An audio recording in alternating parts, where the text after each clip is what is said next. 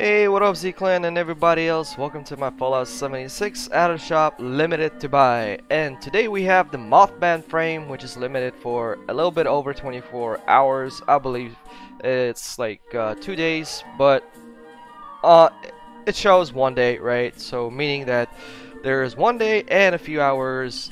I don't know how many. It would be cool actually if they would have a timer here instead of the day, right? Whoop. Hold on a second. Now, the other thing is my personal comment. Frame is sort of expensive. I mean, 300 atoms for a frame that you barely use in the game.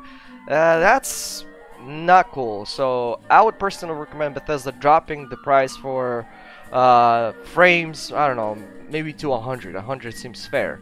I mean, it's it's still a good price, but I mean, you don't usually usually use these frames, right? I have a bunch of them like from location opening, quest completion, and other stuff, right?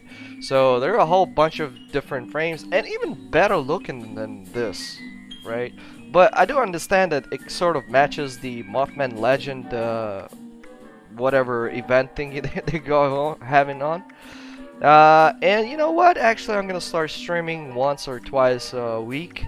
Uh, Fallout 76 again, and this time I'm gonna start saving up atoms to buy the billboards because these are look looking dope. I really want to get the billboards and the Mothman statue, so I gotta start playing Fallout 76 more actively again. You guys know that I was all into Metro Exodus. By the way, if you did not know, today we have a Metro Exodus uh, premiere video going live at 23:30 p.m. my time. Uh, it's about 16:30 EST.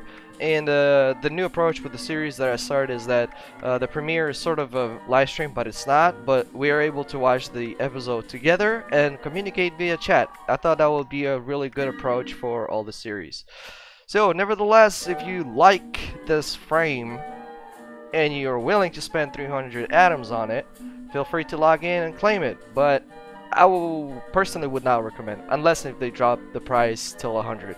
I mean, I feel that's a fair price. What do you think is a fair price for uh, frames? right?